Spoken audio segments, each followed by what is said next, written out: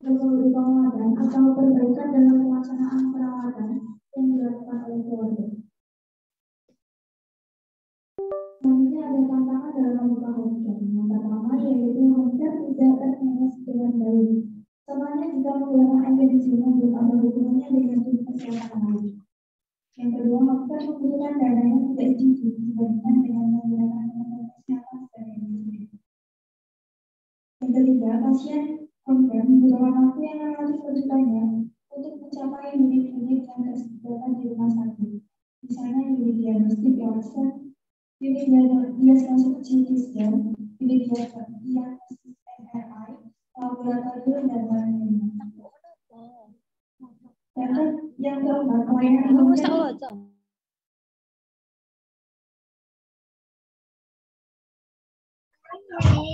Ah.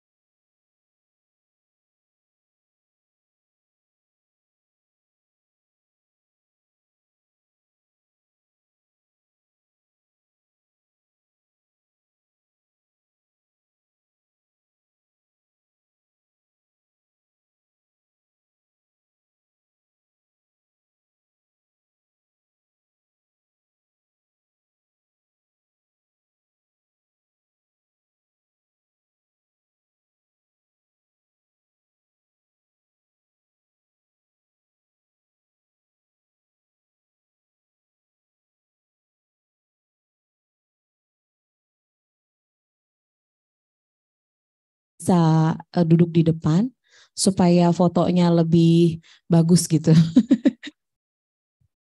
Silakan. Jadi nanti uh, teman-teman mahasiswa yang datang juga nggak bingung karena uh, tempatnya di sini sudah terlalu full. Bisa ke depan Ibu Sentia, Ibu Titi, Ibu Iha, Ibu Santa, Pak Yusuf, Bu Hamida, Bu Eska, Oh iya, Pak Burhan jangan lagi ke belakang.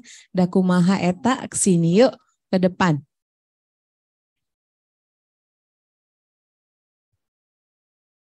Untuk teman-teman mahasiswa boleh di uh, WhatsApp ya temennya ya untuk lebih cepat lagi karena dari jam setengah sembilan tadi narasumber kita sudah datang, sudah hadir di lantai dua. Yuk, uh, bisa bisa ke depan aja deh, ke depan aja deh. Yuk, yang belakang ke depan katanya Pak Yusuf. Yuk, yang pakai baju oranye tuh. Pakai baju oranye dari mana ya? Dari DLM. Oh, Promkes. Luar biasa loh, cinta banget sama alma mater. Ayo, ayo.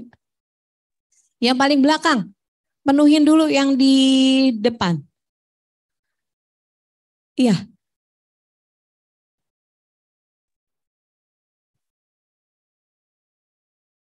Yang di depan ada hadiahnya loh. Asik.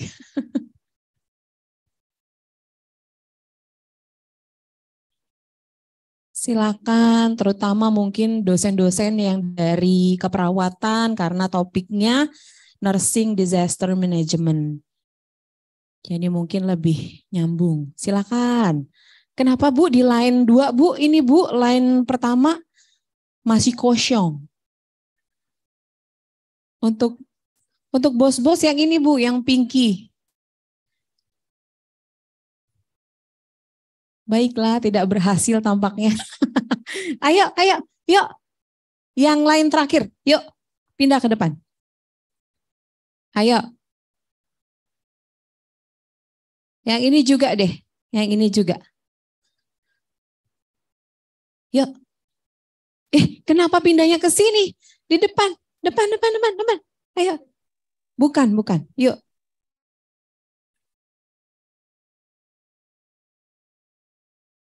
Kan nanti mau jadi dosen juga, ya kan?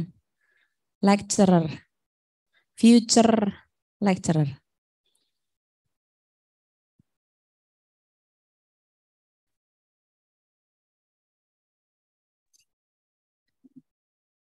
Satu, dua, tiga.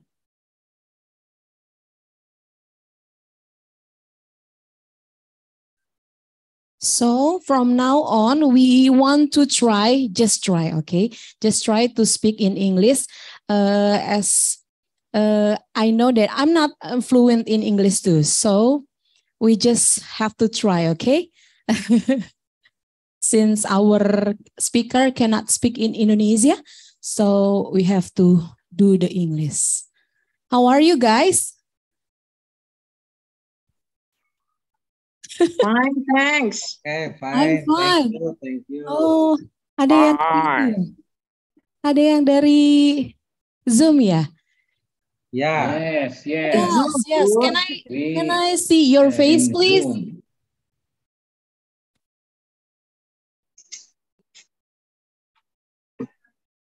Oh, hello everybody. Hello everybody. Hello, ma'am. Hello, good morning. Hello, ma'am. Good morning. Hello, hello. Good morning. Oh, hello. where are you from? Semarang, Bandung. Bandung, and Dari Tasik. Okay. Solo. We will try in English, okay? Since I'm not fluent, so maybe uh, we can both uh, try to speak in English. Are you Yes. agree? Yes. Where's the camera? There. Yes, agree. Okay.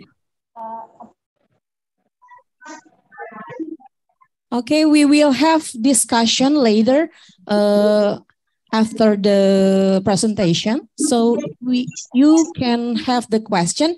Uh, you can write down in the chat room, okay? Okay. Okay.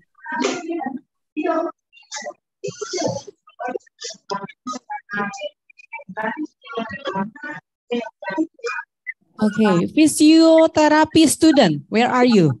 Raise hand, raise hand. High enough, high enough. Okay.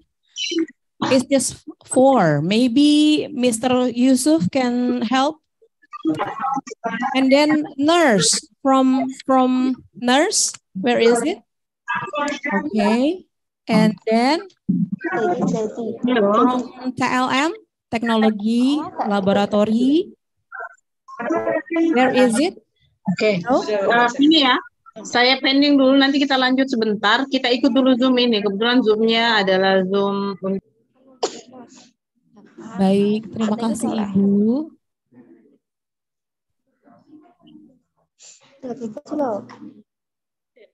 Baik, nanti untuk hostnya siapa ya? Pak Selamat ada di dalam ya?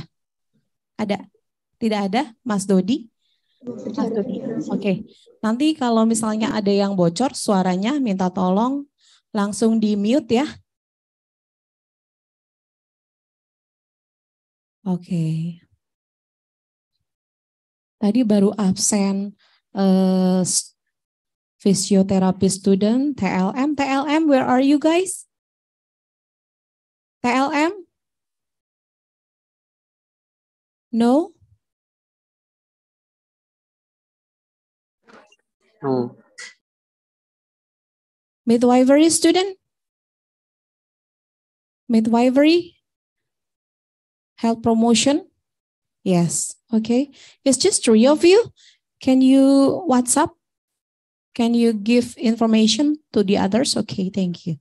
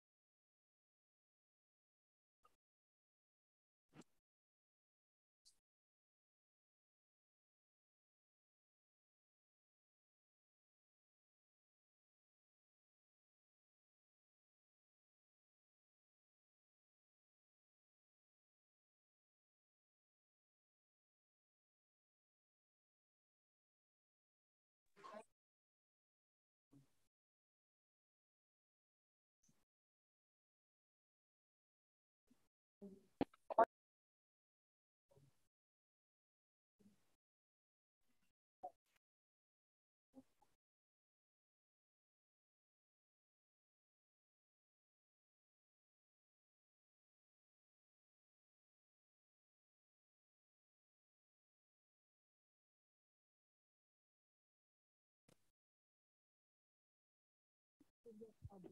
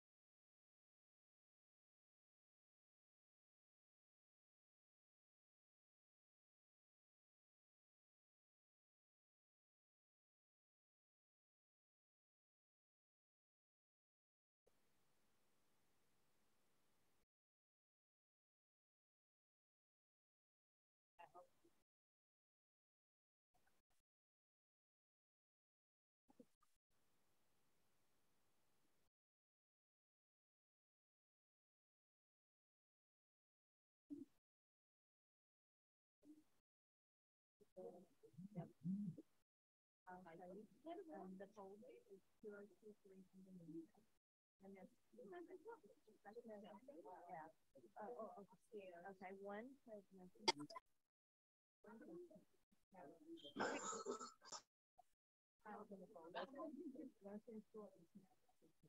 Nursing school and in health.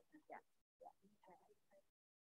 So, uh, the presentation is uh, from you and yes, so I'll talk first. Yes, and uh, I'm talking more on a global response, and Karen's going to talk about um, infection response and in the business. Okay, so yeah, yeah. Yeah.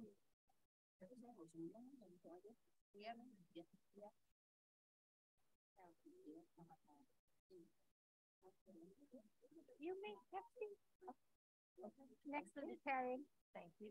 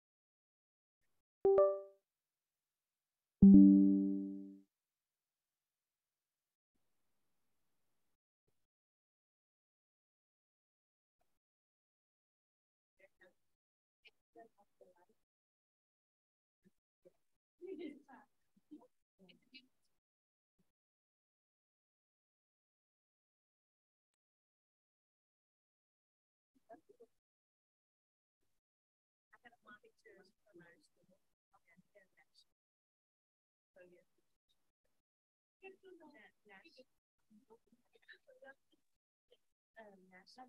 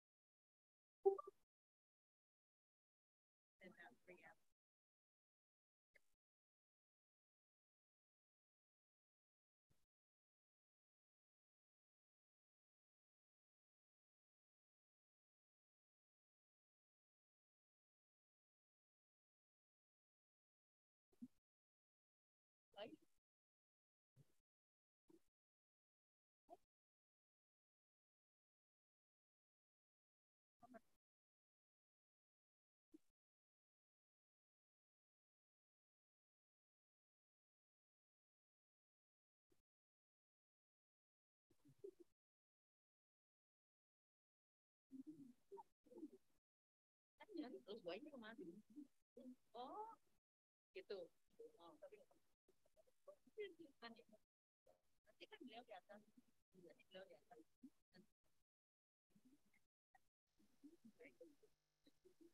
Itu udah ini kan yang uh, yang berapa? Ah, tiga ratus. Tiga ratus. Satu itu. Oh, bagus.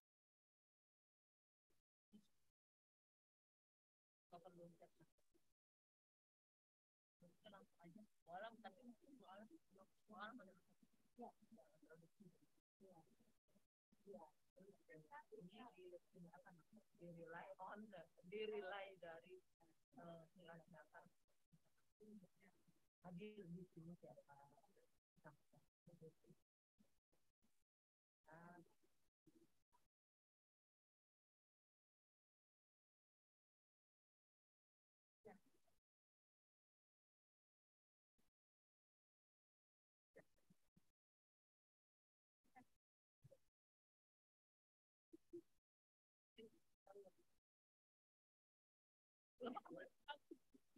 Nanti dicari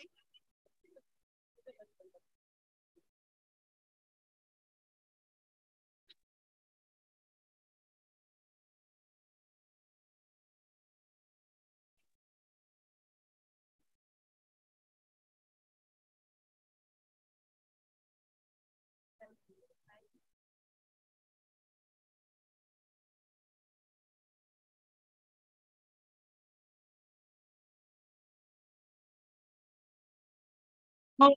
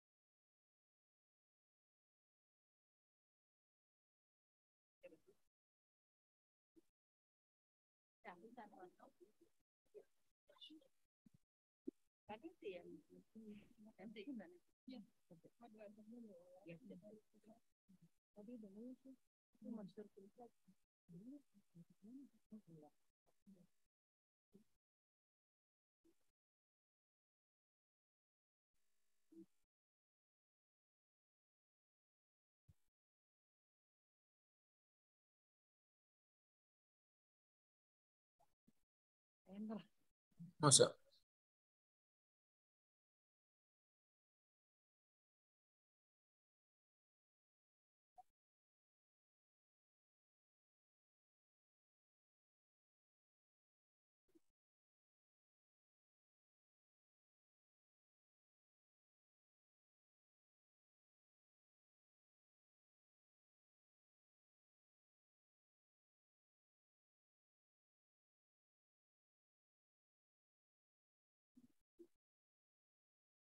No se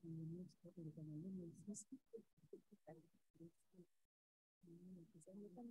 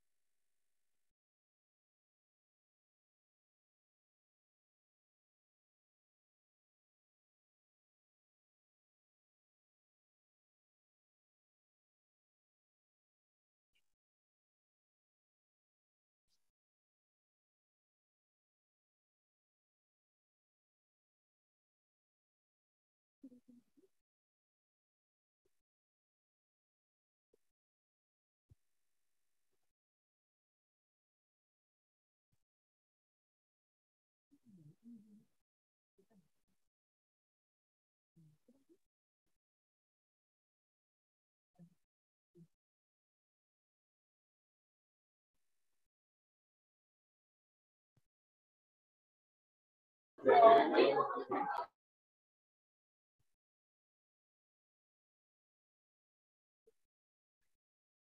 morning all. Good morning. Good morning. Morning. Morning, my friend. Okay, thank you. Okay, before we begin the this event, uh, I would like to invite the Director of Health Polytechnic of Jakarta 3.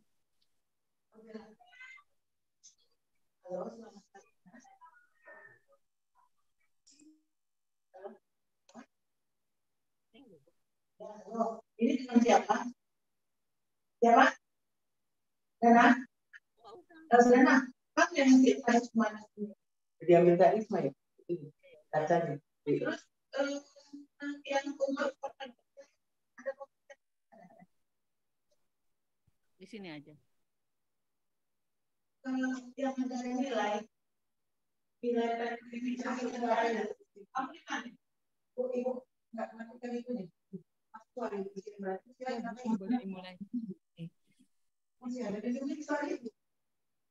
Okay, to uh, Mrs. Shelby, Miss Shelby and Miss Taryn, and our moderator, Miss Ola, can have the seat in front of us.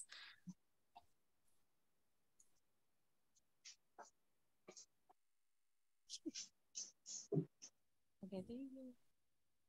Thank you. Thank you. Welcome upstairs. yang landscape atau mungkin masalah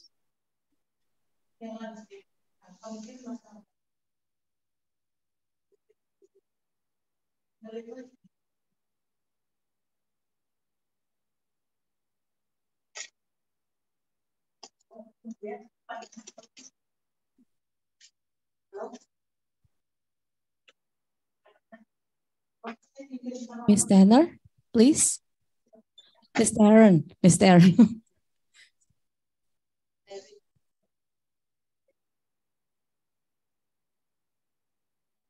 Okay, good morning, ladies and gentlemen. My name is Nessie Meilan. It's a precious chance for me to be your master of ceremony on this very special occasion, the lecture class with the topic Nursing Management in Disaster. First of all, let's say thanks to our beloved God who has given us guidance, happiness, healthy, and mercy so we can attend and participate in this special event without any obstacles. And I would like say uh, welcome to the honorable guest lecture from Belmont University, Mrs. Shelby and Mrs. Taryn, Miss Taryn. And then uh, welcome to Indonesia. Welcome to our campus. The Honorable Mrs. Yupi Supartini SKPMSC as our Director of Health Polytechnic of Jakarta 3, the lecture from Nursing, Midwife, and Technology, Medical of Laboratory, and from Physiotherapy also. My beloved alumni and our student of Health Polytechnic of Jakarta 3. Assalamualaikum warahmatullahi wabarakatuh. Waalaikumsalam warahmatullahi Salam sejahtera, Om Swastiastu, Namo Buddhaya. Poltekkes Jakarta 3. And I forgot, I forgot the uh, participant in our Zoom meeting. There are 300, 300.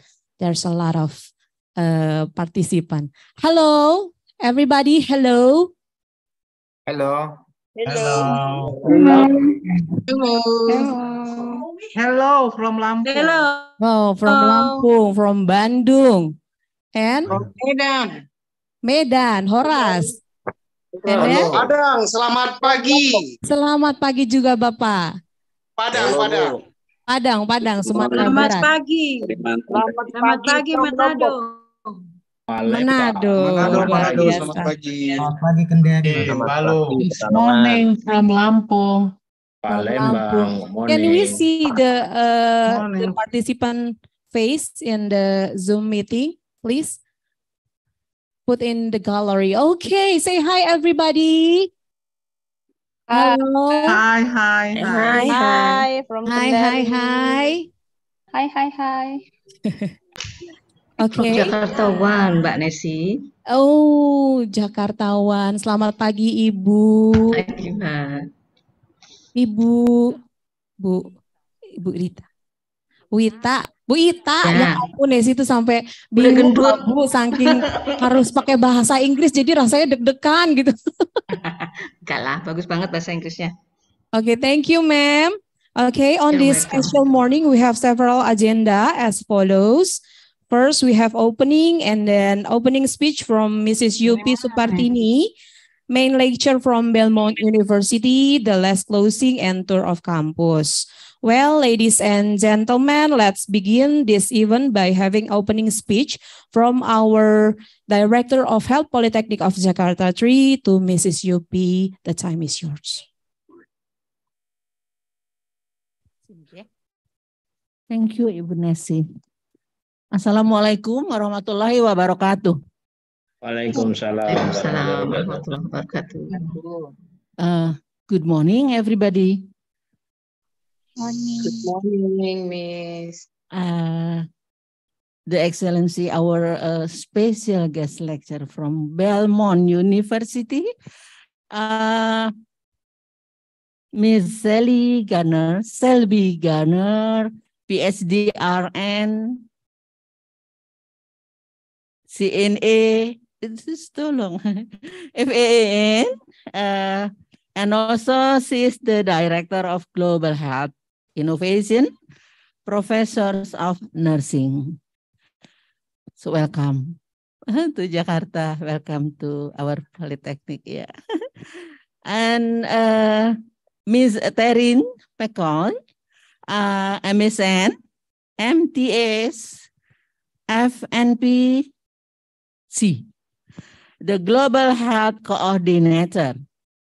So welcome, Ms. Uh, Terin to our campus and also to Jakarta. Uh, this is one of Health Polytechnic uh, in Jakarta. Thank you for your uh, coming and your uh, uh, time to deliver the guest special guest lecture to us. Uh, and then the excellency to all the we have a director Ibu Ita Ibu Ita Astrid in the Zoom. Yeah, Yes. thank you, Miss So, Yupi. Thank you, Ibu Ita. We have also Ibu Dr. Sri Wahyuni in the Zoom meeting. Ibu Dr. Sri Wahyuni. Yeah. Good morning, Ibu. Good morning, Director Shelby and Mr. Rin. Thank you for coming. Good to see you in Jakarta. Lovely. Yeah, Thank you so thank much. you. Thank you, Ibu. Eh, teman-teman semuanya, so all the management staff in Head Polytechnic of Jakarta 3, Vice Director 1 here, also Vice Director 2, two, Vice Director 3, and uh, all the management staff. Oh, forgot. There is also Ibu Ayu here. Ibu Ayu Dia from DG, Secretariat of DG. Yeah, uh, uh, introduce uh, everybody. Ibu Ayu is also from Director General, especially in Secretariat Director General. All the lecturer from nursing, physiotherapy, uh, medical technology lab, and also midwife, yeah, school, and all the student and also the alumni uh, who could attend uh, directly in this room, yeah, in this theater room. Uh, so welcome to all of you. And also uh, all the lecturer from several health polytechnic. Bapak Ibu, thank you for your attending in this Zoom meeting for the special guest lecture. It is very a pleasure to have both of you, Ibu Sel Selby and we call Ibu, Miss Selby and Miss Terin. Yeah, it is very special uh, time for us, special occasion for us to have you, both of you, and uh, we will have uh, very valuable informations and knowledge and uh, about the disaster and um, disaster nursing management, yeah? Especially how uh, the management use in the USA. So we we really uh, think that this is very good uh, opportunity for all the lecturer and all the students to have the perspective uh, abroad, especially in USA. Yeah. Hopefully, one day we could also go into Belmont University. Yeah. Amin. the lecturer, the students, yeah. So please study hard and go into the Belmont University for the for the uh, what is it maybe master or PhD level ya. Jadi belajar giat ya untuk seluruh mahasiswa ada kesempatan insya Allah ya. So again, thank you very much. And also to, to all of you, uh, please pay attention to all of the lecturer that will be delivered by both of uh, our uh, special guest lecture. Uh, maybe this is only the the place that the the guest lecture uh, rely yeah, but we all of over how much berapa poltekkes around 20 around 20 head polytechnic uh, from all the participant uh, uh, joined by zoom so this is actually national guest lecture so thank you again for your opportunity and uh, sharing all your knowledge to us. And also thank you to Ibu Dr. Sri uh, who facilitate who facilitate this uh, guest lecture, Ibu Sri. Have a successful event. Thank, Thank you. you. Thank you, Bu Sri. Yeah. Uh, so I think that is a special, special uh, only some some words yeah. so again, welcome to Jakarta, welcome to Head Polytechnic of Jakarta 3, welcome to uh, Head Polytechnic Ministry of Health in Indonesia. So uh, we have will have a good time with you. Thank you.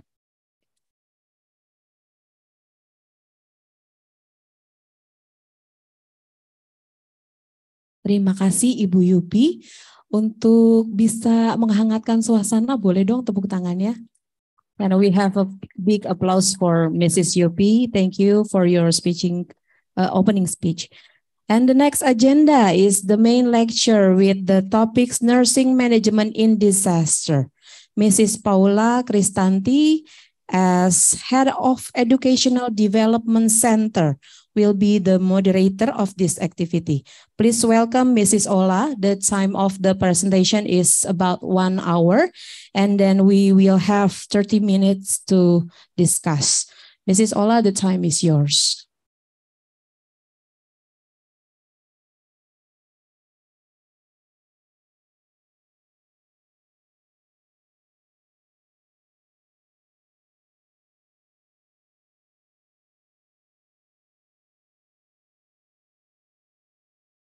Thank you, Ibu Nesi. Hello. Hi. Hi. yeah. The Honorable Director, Ibu Yupi Supartini, SKPMSC, the Honorable uh, Dr. Sri Wahyuni, Ibu Sri, thank you for facilitating us. Makasih Ibu Pola, thank you and the honorable other directors from some of the health polytechnics that following by Zoom. And the honorable guests, Dr. Selby and Ms. Taryn. And all the lecturers from Jakarta 3 and all students. We have four majors, nursing, midwifery, technology laboratory medic and physiotherapy. So uh, this is belong to four majors. And all the participants from uh, that following this event uh, from Zoom. Hello, everyone. Ya, Assalamualaikum warahmatullahi wabarakatuh. Waalaikumsalam warahmatullahi wabarakatuh. Selamat pagi, salam sejahtera untuk kita semua. Sebelum saya memandu uh, diskusi ini, before I before I deliver time to first to Dr. Selby, I would like to read her curriculum vitae. Name Selby Garner, PhD, RN, CNE, FAN, very long title. Uh, the nation, of course, USA. Uh, currently, her position is Director of Global Health Innovation from Belmont University, USA. Uh, Department of Nursing, and uh, her background is uh, online from BSN until PhD from Texas Women University. And uh, working history, until now, she's become a professor of nursing at Belmont University. And uh, and also working uh, with some project with U.S. Agency of International Development or, or USAID. So, uh, Dr. Selby, times for you is 30 minutes to present, and then uh, I give the time without further ado to you. Thank you. Thank you. Terima kasih, um, Director and Ibu Yupi, um, uh, Ibu uh, Nesi and Ibu Paula. Um, uh, selamat pagi. Uh, that is where my knowledge of Indonesian language ends. I don't uh, don't know much more in uh, Indonesian language. So um, anytime, uh, Paula, if you want me to stop and if you need to explain, let me know. Okay, but she said many of you understand uh, English, uh, so that is very good. I'm not so talented. So it is so nice to be here with you today. It's an honor for me to be here and to see nurses and healthcare providers around the world and to get to know you. It's a, a true honor for, for me. Um, I'll um, have them pull up the presentation and start talking a little bit. I want to just uh, tell you a little bit about some of the projects that I've been involved in and then talk about a disaster management project that is funded by the World Health Organization, and United Nations. One thing I want to inspire you about is nurses and healthcare workers can be involved on the global level. It doesn't have to always be physicians that are involved. You can be leaders and policymakers as nurses, as physiotherapists, as allied health. And those are um, very important positions that you can play a role in. We know with nursing, it's very important to be able to manage individual care. That's the most important thing that we learn. But you can also be um, impactful on a global le- level. And so I just want to give you some examples of work that I've been um, honored to be involved in that um, were international and global. Okay, so the PowerPoint, please. Mm. A study, the PowerPoint. Uh, no, the other one. Yang pertama tadi.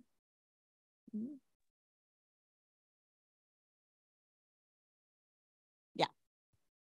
Yes, that's it. Thank you. And you can advance the slide. So um, this one, oh. there we go. Okay, next slide. So I come to you from Belmont University. Belmont is located in Nashville, Tennessee, in the United States. And Nashville is also known as the country music capital of the world. So, do any of you listen to country music? Yes, country music? What are some of your favorite artists? Anyone have favorites? John Denver. John Denver, Country Road, Take Me Home. Oh, John Denver, yes. Any others? Daniel oh, Carrie Underwood. Yes, she's one of my favorites too. Good. So many of those stars come to Nashville, Tennessee. And our university is actually located right at the end of what's called Music Row, where they have a lot of producers. So Belmont has a big music school, and it's known for being a big music school. But also, our second biggest program is nursing. So it's a lot of fun when you go to Belmont campus. You'll be learning about nursing, other health programs. But as you walk through the campus, there's someone playing a guitar by the fountains and so songwriters that are writing songs. And who knows, they may be the next Carrie Underwood. So it's a lot of fun to see uh, diverse talent at Belmont University. Um, you can see where it's located here in the United States. Um, so it's kind of a little bit in the middle uh, to the eastern part of the United States. Okay, next slide.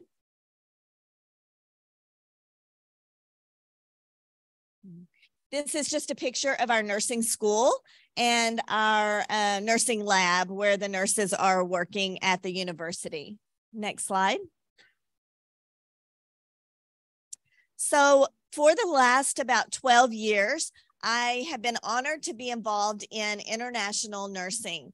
And I worked with several colleagues. We, we began doing work like this where we were working with nursing schools across the world. And we decided that um, there was not a lot in nursing theory about uh, working internationally with each other and partnering. So we developed a model based on the research that was available at the time and also our experience for partnering internationally with other organizations. And um, I won't spend a lot of time talking about the model because I know you've um, go to theory classes, right? And you can spend a whole hour talking about theory. But um, one of the very first strategies in developing partnerships is establishing relationships, which is what we're doing here getting to know you and establishing relationships with your director and your professors here. And so um, we were able to publish this model in a journal called International Nursing Reviews, which is the official journal for the International Council of Nursing. Next slide. So some of the early research that I did in my profession internationally was interviewing nursing students and health students such as yourselves. Um, I was doing this in India. And what we found were that um, nurses in India felt like many times they were not valued in society and that uh, nursing and medical were very hierarchical and so they really wanted the community to know what nursing was about. And we've been talking about with your director this morning about uh, nursing being a very valuable position and how much nurses do in society. And so we want for people around the world to recognize the importance of nurses because nurses make up the majority of frontline healthcare workers in Indonesia and also around the world. And so, what we found were that nurses had a very strong desire to um, work to the full scope of what they were educated to do. And they also wanted to learn about technology and be empowered to use that technology around the world when they're practicing in nursing. And so we published some of these results. And then we started to think about where are we going to get some funding to accomplish our goals. Next slide, please. Next slide. And so our vision was to recognize and uplift nurses in India. I was working with a hospital in Bangalore, India. This is my colleague, Lena. Lena is from uh, Karnataka, India. And she had a vision that she wanted to start the first center for nursing excellence in India. And so we thought, how are we going to do this? Um, so we uh, started to look for funding and think about ways that we could empower nurses. And she had a vision and a dream for opening the first simulation center for nursing excellence in India. Next slide, please. So we had to look for some funding and we uh, wrote applications and this is where we used our previous research so how many of you have had a research class? Have any of you had your research class yet? Do you have research class in your nursing program? Yeah yeah. So um, we learned to we use the research to then um, write grant applications to ask for funding. And uh, we did that through USAID uh, through Fulbright um, and through uh, U.S. India Education Foundation and other funders. Next slide. And we were awarded a grant by USAID. Ah, that would be perfect. Thank you. Thank you so much. Uh, by USAID to open a, a, build a simulation center for nursing excellence in India where people from India now from all over India they go there to train with the simulators and we do a lot of education with communication with physicians and nurses that empowers nurses and the rest of the healthcare team to establish trust, also to increase their critical thinking and to increase their decision making. Uh, we've published a, quite a variety of outcomes that came from the work that we did in that simulation lab so that we could uh, hopefully replicate this model in other countries. And that's some of what we're hoping to do here in Indonesia as well. We never anticipated when we built this Center of Excellence, we never anticipated COVID. Uh, but the Center of Excellence was actually turned into a vaccination clinic during COVID. Uh, and many thousands of people came to get their vaccinations in this uh, center. So we were very excited that it was to be able to be utilized for that when the nursing school was shut down. They were able to give vaccinations in the center. So these are some of the students just like you that I've worked with in India. We also received funding to open an innovative um, living and learning center with smart classrooms in um, uh, this facility.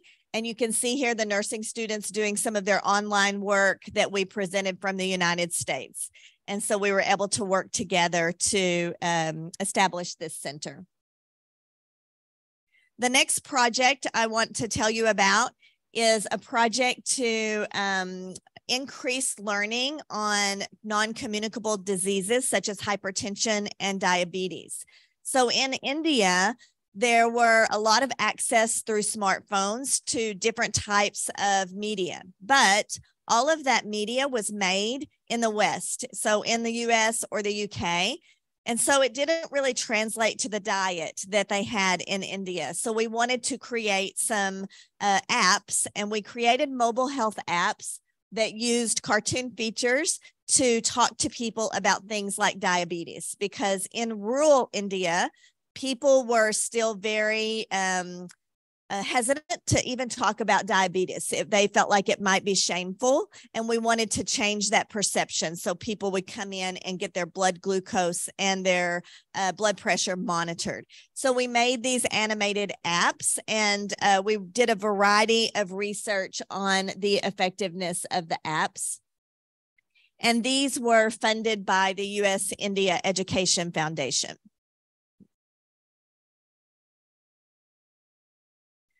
The last project that I'll talk about here before I talk about disaster management is a Women and Children's Healthcare and Research Center, which was also funded by USAID. And so this is a picture of inside of the center where we have pediatric uh, palliative care unit inside the hospital and um, a pediatric ICU that was also started with the funding. This is what the hospital looked like before uh, we had the grant. And then after, this is what it looked like when we built the Women and Children's Center. Um, part of something I'm very passionate about is students going and presenting the work that they do at different conferences around the world by doing poster presentations to um, to help other nursing students also be inspired to be a part of projects and to do research that's evidence based. And so these are just a few of the um, students that have gone around. The next project that I'll talk about is the disaster response project that I've been involved in that's funded by the World Health Organization and the United Nations. So, um, two weeks ago, we were in South Korea and people from all over the world, including physicians, nurses, uh, professors, public health authorities, came together from uh, many different countries to have um, to provide recommendations worldwide for mass disaster repair, preparedness and response. We were uh, charged with assessing community resilience against a disaster and determining how we could improve community resilience so that we are prepared for mass disaster. And so the importance of uh, resilience is that it really helps us to absorb shocks and be prepared so that the impact is minimized on the community. And that's why we want to um, prepare and uh, have resilience against disaster. We used a framework that was developed by the United Nations to um, uh, look at health emergency and disaster uh, risk management. And then each country held their own workshop to decide on a local level the best types of interventions and strategies to prepare for the next disaster. Um, this talks about just the process we used for each country and uh, some of the barriers of uh, bringing people together to do this type of work and the importance of that. So some of the key aspects when we're prioritizing for mass disaster is to look at things like governance, financing, health workforce, public health functions, and medical products and technologies. These were all things that we considered when we were prioritizing and we were ranking what we, uh, our recommendations.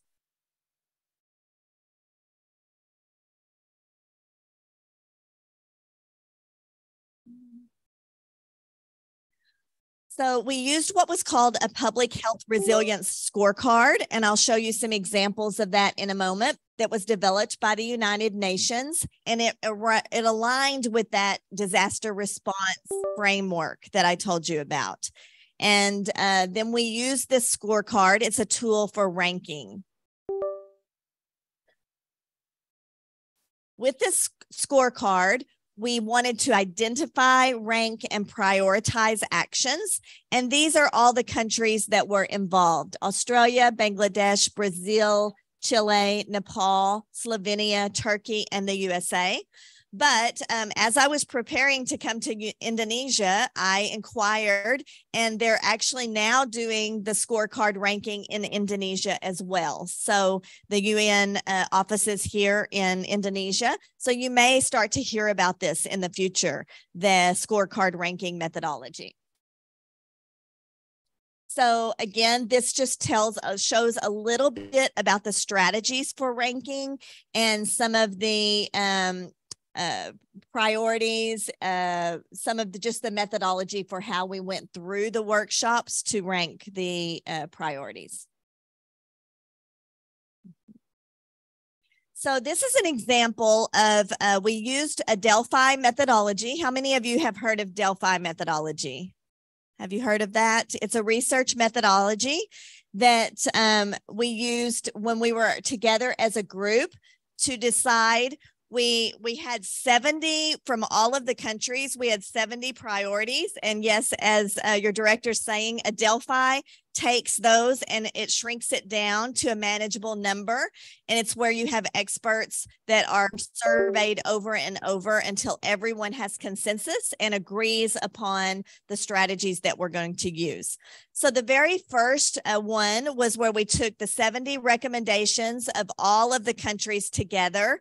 And we looked at whether we should keep, remove, or clarify the things that were on the list. And so the thing that is in yellow is something that uh, we were going to talk about because it was maybe going to be thrown out. And so we had decided ahead of time what numbers we would use to throw something out or to clarify it. And I'll show you the next one. So then once we did that, we did a Likert scale and we looked at the, the ones that we wanted to keep again or the ones that we wanted to remove or discuss and clarify. And so we did this process several times until we finally came to the uh, final results. And the final results resulted in 23 recommendations that we have now that the World Health Organization will publish. So I'm not going to go through all 23 recommendations, but I do want to just talk about a couple of those. And the very first one that every country agreed upon that was a priority was assessing mental health needs in communities due to the COVID 19 pandemic. And I think as nurses, sometimes, uh, and healthcare providers, we're trained to always think about physical first because we're thinking about the physical needs, but sometimes we forget about the mental needs of others. And so we talked about this at this workshop. No matter what the disaster is in the future, whether it is um, earthquake, flooding, whether it's pandemic, the need to deploy mental health professionals very quickly and post pandemic because we have many people that are in um, post-traumatic response, uh, you know, that that have a lot of um, issues related to the pandemic. Many of my colleagues in India, when they had the Delta wave there, you remember seeing on the news how um, bad it was, and people were dying outside of the hospital. And many of the healthcare workers had um, you know, severe uh, post traumatic after that, after dealing with that. And so it was very important for even the healthcare workers to have the mental health resources for them afterwards. So that's one recommendation that the World Health Organization will be putting forward, um, along with strategies to achieve these things. So I won't go into that for every single one, but um, other things were, you know, each community needing to know exactly how many um, individuals can be received by each hospital and um, strengthening infrastructure because we found during the pandemic that uh, public health officials maybe had an idea, but they really didn't truly know uh, which hospitals could take how many patients. And so we want to strengthen infrastructure. So there's several more recommendations. I don't want to take up too much time because I want to give my uh, colleague Taryn time to talk about um, infection control in the pandemic and also her experience working um, in the pandemic. So I will uh, just finish up this one. And I hope that uh, I can continue to keep in touch with your professors here and that we at Belmont University can establish a partnership and uh, come back and um, continue to, to talk with you all about issues that we could partner with and learn from each other. So thank you very much. Thank you so much. Uh, Ms. Sarin, before you uh, bring your presentation, uh, perhaps Ibu Yupi have some words to, oh, no, okay. Sure. Okay, thank you.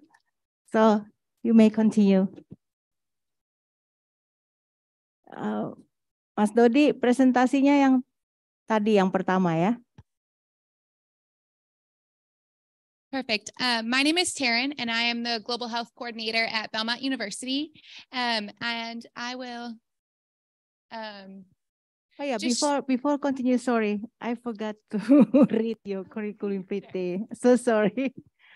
yeah, uh, her name is uh, Miss Taryn McCoy, and uh, the position now, current position is Global Health Coordinator from Belmont University and Department of School of Nursing, uh, of course. And then her education background is online from uh, Bachelor Nursing to the Master. And then also you took uh, Master of Theological Studies, right?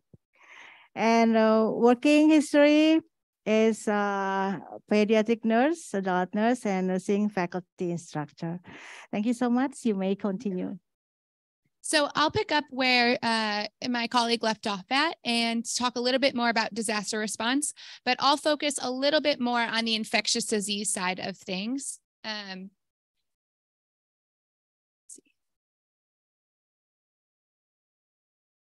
Um, so a little bit more background on me, just so you know um, my experiences. Um, I got my bachelor's of nursing, uh, which is similar to an S1 program here um, in 2014.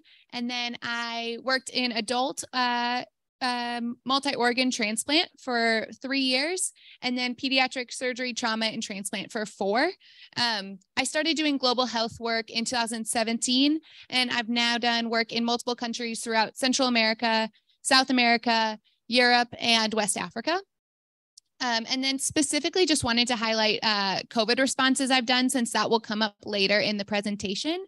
Um, so I did COVID responses in Italy in 2020, Chicago from 2020 to 2021, Mississippi in 2021, and then Tennessee in 2022. So those are various places in the United States um, that have different, uh, that were variable experiences depending on the uh, pandemic state at those times. So I'll highlight that a little bit later on, but just wanted to introduce that now. Um, and then I graduated with my Master's of Science in Nursing in 2022, so about six months ago. Um, so the global importance of natural disasters is increasing um, actually with time. So we're seeing uh, natural disasters around the world happening at higher frequency and intensity. So they're happening more often and they're more devastating every time. Um, and so I'm sure you all have seen that in the most recent years. Um, uh, especially most recently happening in Turkey with the devastating earthquakes that happened there. Um, and so we're also seeing infectious disease rates um, increasing throughout the world, both connected to natural disasters and apart from natural disasters. And so that makes it a really prevalent topic for right now to be talking about how do we respond to natural disasters. Um, we, uh, the global health community has taken more of, um, has realized we need more of a prevention approach as well as being able to take care of them after they occur. And so that's part of why we um, will share this information today to sort of get you all thinking about um, how to prepare for these things if they were to occur um, where you're working. Uh, we are also seeing a strained international health system post pandemic. Um, and so that occurs with both the nursing um, side of things, but also a lot of other parts of healthcare uh, have been strained.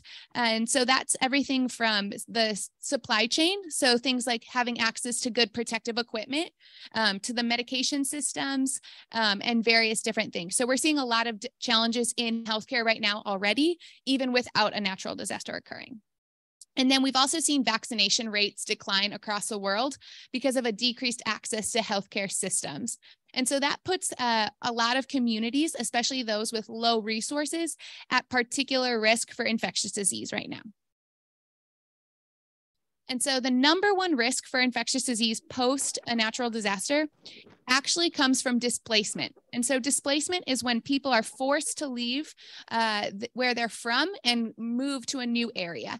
And so uh, this will happen after essentially uh, either a, a, hur- a, hurricane or an earthquake where they can no longer live in their previous home. So the community has been destroyed. And so they have to move to somewhere new.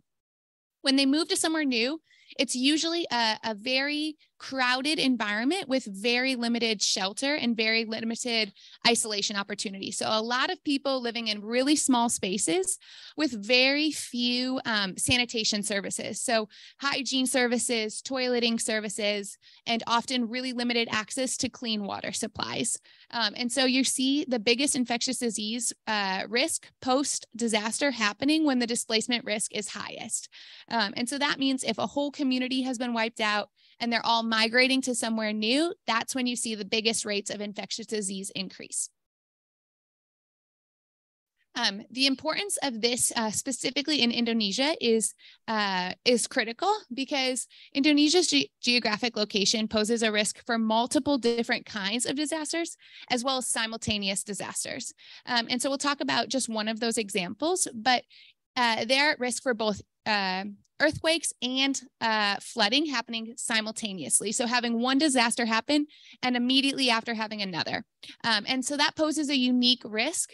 Um, as well as the tropical climate of Indonesia, which is lovely for us coming from the US, um, which is not very tropical. Um, it creates a higher risk for infectious diseases. And so uh, a warmer climate um, tends to have higher um, vector borne diseases, which we'll talk about just a little bit later. And then it's a highly populated country as well, um, which is wonderful because we get to meet so many of you all. Um, but it also means that displacement risk is much higher. So you would, um, if a whole community is having to move, that's already a really big number. Um, and so that just increases all of those risk factors. And then the vaccination rates have dropped due to the challenges of the pandemic and this has happened all over the world in every single country. Um, but I, uh, in researching for this, I found that uh, Indonesia had the fifth highest rates of vaccination before the pandemic. And so 93% of the population was fully vaccinated um, against a number of childhood diseases specifically, uh, which is excellent. But just like everywhere else in the world, it's been harder to access those vaccines um, throughout the pandemic. And so they've dropped to 84%. So oh, uh, just about 10% in the following two years um, during and after the pandemic. So in the Indi uh, Indian Ocean tsunami of 2004 that occurred here, it was one of the most severe natural disasters in history, starting with the 9.1 magnitude earthquake that occurred, um, and then the subsequent tsunami that hit the Sumatra region. And the reason why I bring this uh, incident up specifically is because it's actually something that um, has transformed natural disaster responses around the world. So um, after the devastating effects of this tsunami and earthquake, um, it actually put into place a lot of the policies that we'll talk about today and things that um, Shelby has already spoken on of disaster preparedness things. And so after the um, uh, Indian Ocean tsunami occurred, they began to do warning systems and preparedness drills in regions that were particularly prone to these uh, natural disasters. They even installed, this is beyond my expertise, but they've installed sensors in certain places uh, in the earth below the ocean to uh, trigger warnings when things like these uh, earthquakes and tsunamis may occur. Um, and that's specific to this region. And so while the effects of the uh, natural disaster were devastating, it also became um, began this uh, worldwide conversation on natural disasters, and a lot of really good protocols and policies have come from um, what happened here. So I'll talk a little bit about these seven specific diseases because they're the most important post uh, disaster.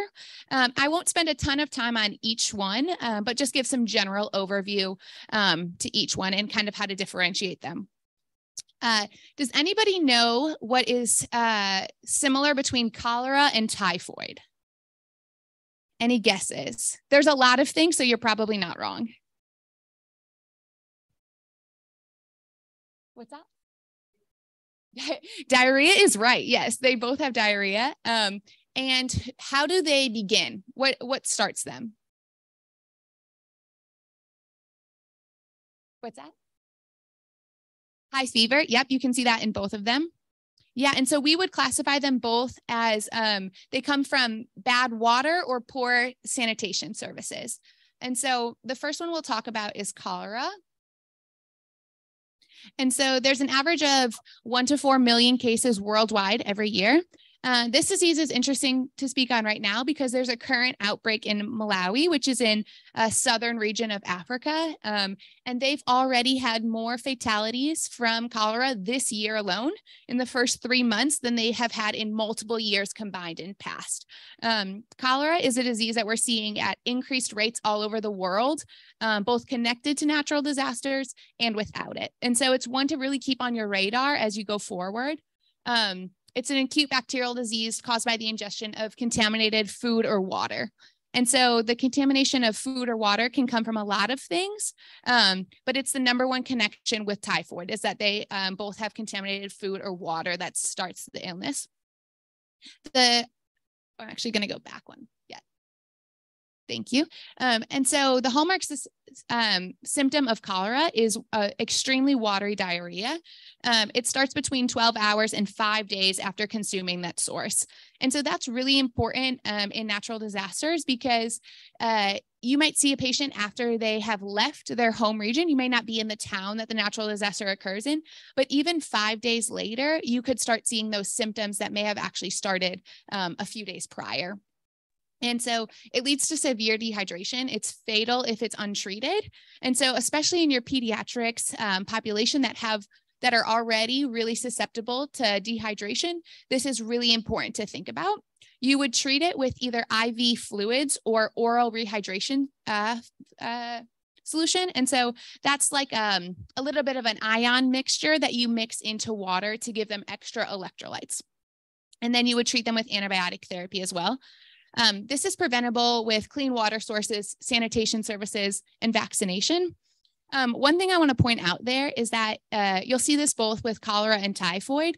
You can uh, there's a lot of push after natural disasters to vaccinate all the populations, and that's really important. But if you don't treat the water source and the sanitation services, it will just continue to come back. Um, and so it's critical after a natural disaster to not only uh, get the antibiotic treatments going for patients and vaccinations, but to also make sure that there's clean water and sanitation services where they're living at. Typhoid is the second disease. So that's going to be 11 to 20 million cases worldwide every year. And so that's even more prevalent than cholera. Um, the it's an acute bacterial disease caused by ingestion of contaminated food and water as well. Um, where you'll see a difference between cholera and typhoid is that typhoid typically presents with the very high fever before they have abdominal pain and problems. And so uh, I've taken care of a number of these patients who have um, temperatures over 40 degrees Celsius when they arrive. Uh, so hot that you, uh, we joke that you feel them come in before you see them because they are so hot. Their uh, their temperature radiates. And so they, um, especially in pediatrics, it will be um, fatal if it's left untreated as well. Um, you treat them with uh, very similar uh, treatment to cholera with IV fluids, oral rehydration system, antibiotic therapy, and then because of the high fevers, you'll really need to do a lot of antipyretics, so Tylenol and such, to bring down their fevers. Uh, this is also very similar in uh, it's preventable with clean water sources, sanitation services, and a complete recent vaccination series. So typhoid vaccines don't last for a lifetime uh, like some of the other ones do. This one needs to be updated fairly regularly. So even if a community had really good typhoid immunity a few years ago, it might not still be relevant now. So it's important to know uh, when the most recent typhoid vaccination was given to a patient as well. Um, the next we'll talk about is pneumonia, and I won't spend a lot of time on this because um, there are you. I'm sure you talk a lot about pneumonia in your other courses, but specific to natural disasters, you see the pneumonia risk increase in patients who are very vulnerable. And so that's pediatric populations, elderly populations, and those that also have different respiratory and cardiac problems already. And so uh, that is when um, when they're in the displacement uh, areas so in different refugee camps and such um, there's a lot of spread of just regular colds viruses and respiratory illnesses. For most people they might catch that and it might they might be fine but for your patients that are already susceptible to severe illness that um, their risk is really high so it can be fatal for them as well um, they also have decreased air quality in these uh, regions post disaster because of the debris, um, the water sources that have come in from flooding areas and such. So that creates a really vulnerable uh, situation for these communities. Um, your symptoms are going to be cough, shortness of breath, and fevers. And then in the elderly population, it would be confusion as well. Um, the treatment for pneumonia will vary based off of the um, bacterial or viral etiology. All right, then we'll go into malaria. And so this is the vector-borne disease that we uh, mentioned earlier. So um, if it comes from a bug or an insect, that kind of thing, we typically call it vector-borne. And so malaria is uh, 247 million cases worldwide every year. Um, and it's transmitted through mosquito bites. So the hallmark symptom is going to be fever, headache, and chills that start 10 to 15 days after. And so that's another thing that you'd want to be mindful of, even if you aren't in the region where the disaster hit, is that it can take place up to two weeks afterwards. Um, prevention is available through uh, vector control. So that's the mosquito nets, bug sprays, and such. And then you can do some uh, prophylactic um, medications as well.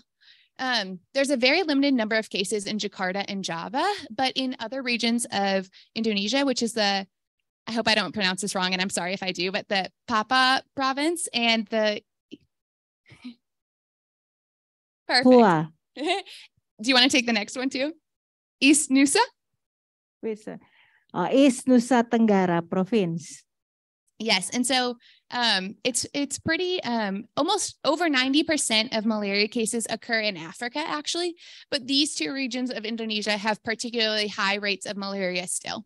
Um, and so if you were caring for a patient from that region, it's something to keep in the back of your mind as well. What's much more prevalent here, though, in this region is uh, dengue And so there's over 100 to 400 million cases worldwide annually. And this is um, very, very prevalent in the Indonesia region. Um, so I won't spend too much time on this because I'm sure you cover this a lot in your classes. Um, but this is an important one to uh, keep in mind. Uh, you've got high fever, headache, body aches, and nausea four to seven days after the infection occurs. Um, there are uh, this region of uh, Southeast Asia has some of the highest case numbers in the world. And so um, it affects, even if you were caring for patients from different population groups, you'd want to really consider this. Um, and there's one vaccine available for prevention. However, it's only available if uh, you have very severe, um, a history of a very severe case. Tetanus is the final one I'll mention here, and that is um, a bacterial infection that occurs post disaster in open wounds. And so there's a lot of debris and dangerous things that float around after a disaster um, from buildings that have collapsed, um, that has washed up from the ocean. And so a lot of people get cuts and open wounds. You want to consider a tetanus vaccine for those patients um, always because um, the tetanus vaccine does not last a lifetime either. And so, um, and the treatment for it is very difficult to obtain, um, even in the best of conditions, but especially in a post disaster response. And so, um, if an open wound is seen and the patient doesn't remember their last booster shot for tetanus, you want to think about just giving them one. The risk of um, giving them an extra tetanus shot is very low, but the risk of tetanus being a debilitating and fatal disease um, is very high. So you would um, err on the side of caution and just give them the tetanus vaccine usually if there's an open wound. And that's a practice that we have in the United States as well. Um, and it's pretty common internationally. Um, if you're concerned at all about tetanus, to go ahead and treat it. And so there's a few other conditions here that are prevalent that I won't touch on specifically, but um, measles, hepatitis, leptospirosis, bacterial meningitis, E. coli, and then these final two um, are specifically relevant in Indonesia. Um, and so that's why there's an asterisk by them. Um, but we won't spend a lot of time going through all of those. But um, if you wanted to look into a couple more conditions, this is where you would start. Does anybody know the condition that we uh, had mentioned that we haven't talked about yet? That you might be worried about? Even now?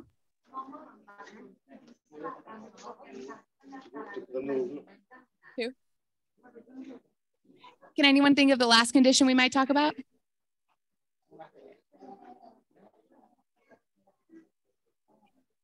It starts with a C. That's right, COVID 19. Very good.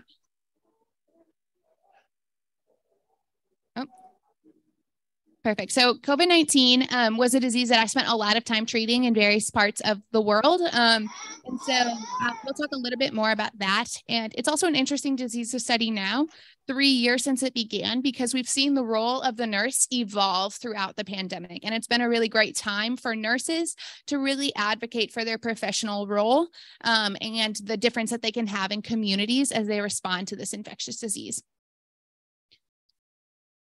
So this is a hospital that I worked at in Italy as the pandemic hit the north region of Italy. So I was in a hospital in Cremona, about 40 minutes outside of Milan in um, throughout March, April, and May of 2020. Um, you can't see it in this photo, but the hospital is right behind it. And so we were an extension service. The hospital had been um, overloaded with patients, um, and you'll see that in the case study I present at the end.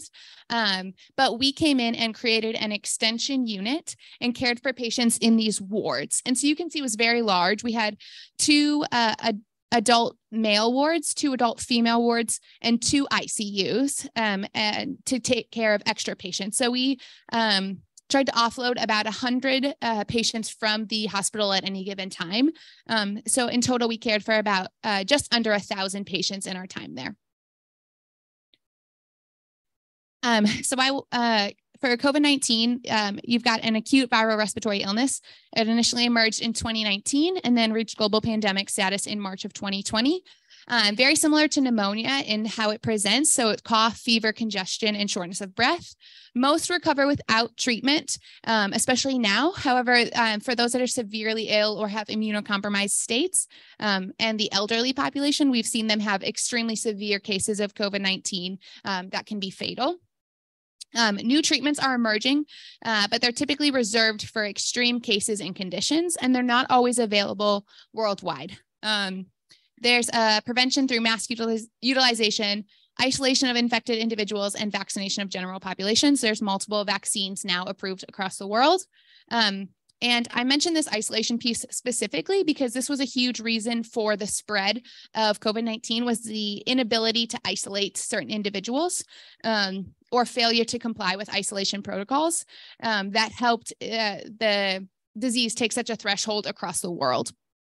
It also poses uh, an extreme risk post natural disaster, um, likely for the next 10 years or so, or even longer, because of that displacement risk. So, if you are in very crowded communities post natural disaster, you really don't have the ability to effectively isolate. So this is a photo of me um, from the ward, just to give you a perspective on the uh, personal protective equipment or PPE that we wore. And so you'll see starting from the bottom, we were in boots that came up to our knees. Um, and then scrubs underneath a gown. We were on we were wearing double layered gloves at the time, an N95 respirator, a hair mask, and then a face shield. Um, and so we were wearing about eight layers there to protect against uh, against COVID nineteen. And then uh, we also would do chlorine washes in and out. So whenever we were taking off our equipment, we were washing each piece with chlorine before we touched it. And so that was an extra method that we also used to prevent even transmitting COVID 19 to ourselves from the personal protective equipment we were wearing, because all of that has been exposed to COVID 19. So it's important that as you're taking it off, you're also thinking about um, not touching it and uh, washing your hands before and after. Um, chlorine is a solution that if you're ever involved with infectious disease around the world, you'll often use because it's uh, extremely um, uh, bactericidal. I don't know if that translates, um, but it, it kills many different kinds of bacteria and, uh, and viruses, and it's extremely cheap. And so you can get it at large quantities all around the world um, and have no real issues with that. It's a uh, it's typically also very easy to keep and maintain. And so if you ever are in infectious disease, you'll probably use chlorine to help sort of with those protocols. Sorry, this slide looks a little bit funny in here, but the um, I just want to touch on infection prevention and control because we saw this happen around the world where different nurses were exposed to COVID-19 through caring for their patients. And so I just want to highlight that um, safety prevention and guidelines for infection prevention and control are really for the safety of the patients, but also for the safety of staff if all of the nurses in a community get infected with COVID 19, it hurts the general population and it hurts um, your own families, your friends, and your personal life. And so, oftentimes, as nurses um, and as different healthcare professionals, we get very worried about treating the patient. And we can do that sometimes um, to risk of ourselves. And so, the most important thing that you can do if you want to take care of your patient well is to follow these uh, the infection prevention guidelines and not run into a room um, without your PPE on, um, even if you think it would be better for the patient, it's probably not. Um, them having a nurse who's protected means that they have a nurse for many, many days who isn't sick um, at home. And so we've seen this in certain communities where infection prevention protocols weren't followed well. It's um, really depleted their nursing staff. And so that puts them at risk for a long, long time in their community. And so I just want to reiterate that it's uh, really for your own safety to follow those infection prevention guidelines, and it's for the safety of your patient.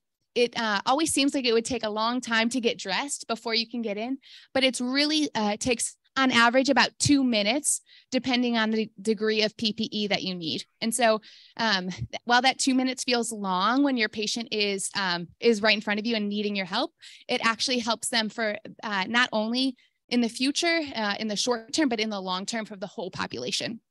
And it also protects your families, your friends, and those sort of things.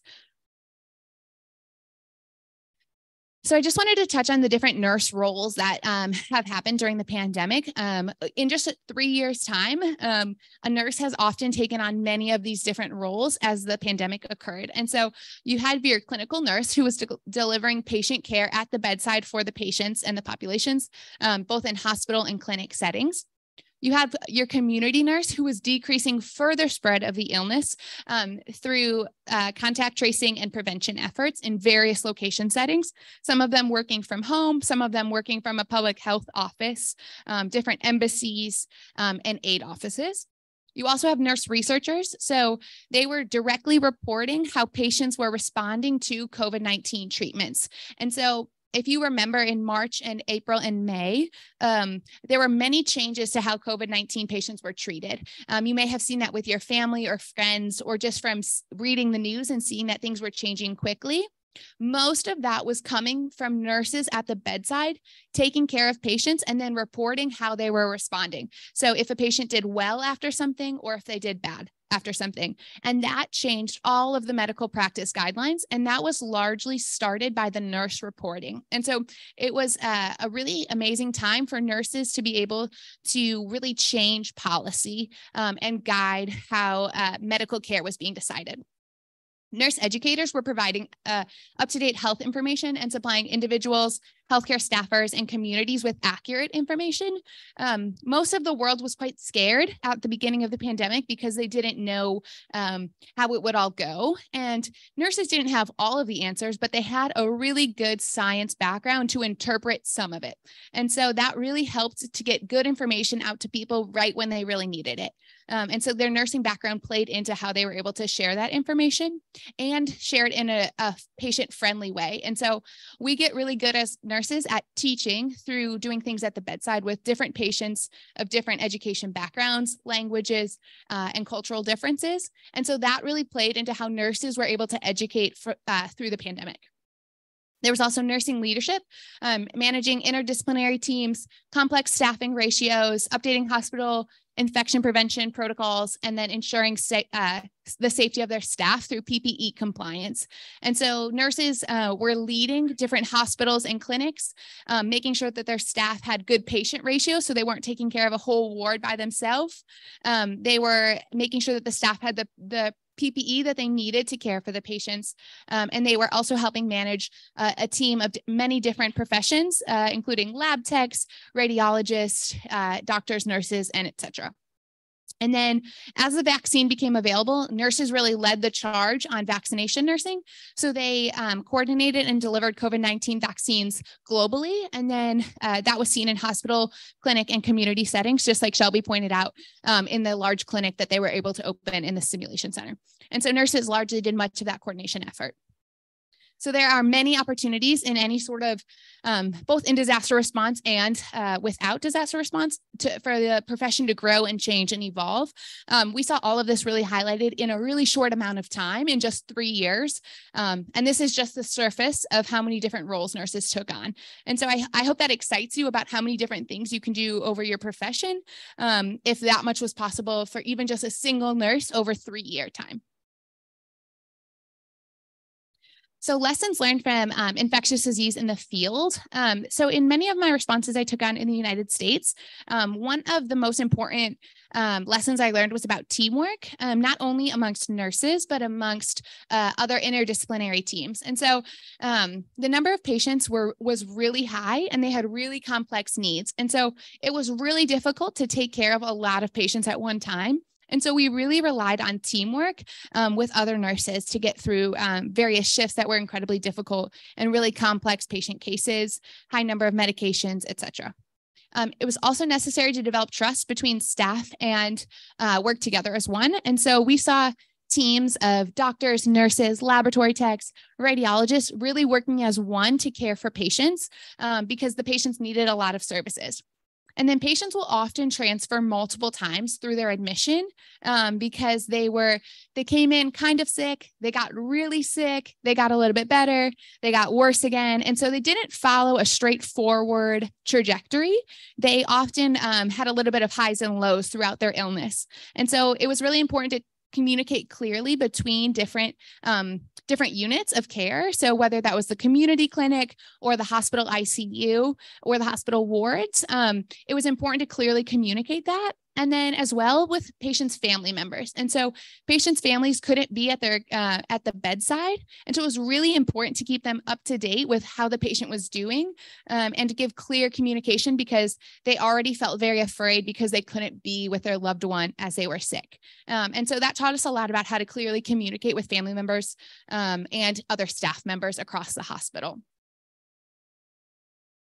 um, I showed this picture. This is also in Italy. Um, and you all can't see this because we're all in our protective gear.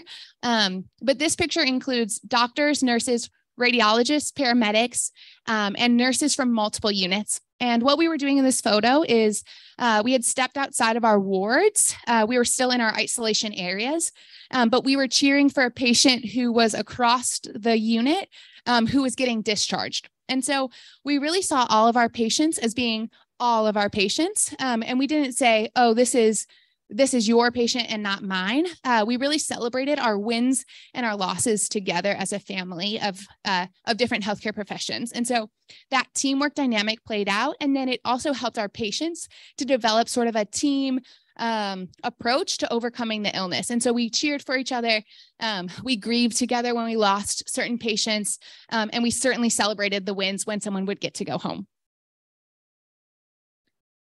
And then this is one of the teams I worked on in the United States. Um, and this is our nursing team. Um, it was quite small. And so what you'll see here um, is that we had ICU folks here, um, and then a few folks who were in the male ward, and I was in the female ward. And so during this response, something that was unusual about it was we would often have many patients in one ward one day, and then it would totally be different the next day. And so we, um, just like I kind of said before, we saw all of our patients as being one. And so sometimes you would be in a very, uh, a unit that was very um, not busy that day. And so we would change our nursing to have the most nurses wherever there was the most need. And we didn't get stuck on this idea that I was in the female ward one day and I needed to be there the next day. We really saw all of our patients together. And I think that really sustained us. Even though we had a very small team, we always worked together and saw our patients as one.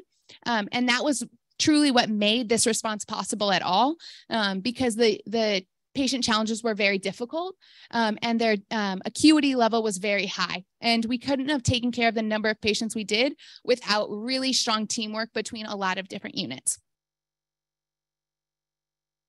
And so I'll go into just one patient story before I wrap up. And so this is in Italy. Um, we had a patient who arrived at the emergency room uh, with her husband in March of 2020. Um, they were both severely ill and COVID 19 positive, um, they stood together for multiple hours in a line outside of the uh, emergency department waiting to be admitted. Um, the hospital was extremely full, um, and this was not uncommon for many elderly patients. Um, think of your grandmothers and grandfathers waiting for 6, 12, 18 hours, some even up to 24 hours outside of the emergency room to even be evaluated. And so they had stood there for many, many hours. Um, and then they eventually were admitted. In Italy, they separate their units between male and female. And so he was admitted to a ward and she was admitted to an ICU. Um, and they separated at that time. And then she was eventually transferred to me 10 days later. She was improving, but still very ill. And um, when she came to me, she was very, very ill and had just received the worst news of her life. Um, her husband had passed away in the ward um, while they were separated. And the day after she transferred to me um, was his funeral that she would she was not able to attend. And so this was very important to her through her faith. Um, the funeral service, she was Catholic, and uh, the funeral service has a lot of importance to their religion. And so she was very, very distraught. Um, and as you can remember from the PPE photo that I showed you, um, we were we kind of looked like aliens. They could only see our eyes in these uh, suits, and we spoke a different language. Um, she was Italian and spoke only um, Italian, and I obviously speak only English. And so it was really difficult for me to understand how I would be able to care for her um, as she went through the hardest day of her life. Um, and she and her husband had been married for over 60 years at the time. Um, and I remember her saying to me, I I knew that we would eventually pass away, but I never thought that I would be separated from him at on on um when he when he died. That was the thing she could not uh under she couldn't uh really understand how to work through because she had never imagined something so terrible. And um she was very very elderly and I remember getting dressed in my PPE as I was going into the unit on the day of her husband's funeral. And uh, it was kind of a time when I would get dressed, when I would think about my patients for the day and think through how to care for them. Um, it was kind of like putting on my armor for the day. And I would always pause and think about them before I went in. And I remember that day specifically getting my PPE on and thinking, I have no idea how to do this. There's, uh, you have a great nursing school, but they will never teach you all things. And I certainly felt like I had no clue how to take care of this woman as she went through this incredible trauma and tragedy. And I remember thinking to myself, if all I can do is make her feel not alone on the worst day of her life, then that will be, then that I, I just hope that that is enough. And I went into the unit and I took care of her for 14 hours. And I remember those, it was a very hard day. And I remember just holding her hand often and at times crying with her and uh, sitting by her bedside as she just mourned the loss of her husband and the loss of how she would be able to take care of him at the end of her life. Um, they had um, been they had spent their whole life together, getting married as young teenagers, and now we're separated at at the most important part. And she had a very difficult day, and uh, I never felt like I was I never felt like I was doing enough um, you can't bring anything into these units and you can't take anything out. And so I couldn't even, usually I think about bringing food or flowers or all of these things that you can do when someone has lost somebody important. And I couldn't do any of them. And uh, I felt really like I hadn't done enough for her on the worst day. And as I was getting ready to leave at the end of the day, um, I was helping tuck her into bed for the night. And uh, she starts speaking to me in Italian and I can't understand it. And so I um, had one of our translators come over and the patient repeated, uh, told the translator, and, and she held my hand and she said, Today was a very hard day, but I never felt alone in it. And it transformed how I think of taking care of patients in the midst of natural disasters and infectious disease, because that was the one thing that I thought if I can just do this, then maybe it will be a little bit better. But even when I was doing it, I didn't feel like I was making a difference. And so I say all of that to say that sometimes you will be in disease states or natural disasters where patients are going through things that are beyond what you can imagine. And it feels so big to overcome, and you feel like you don't do enough.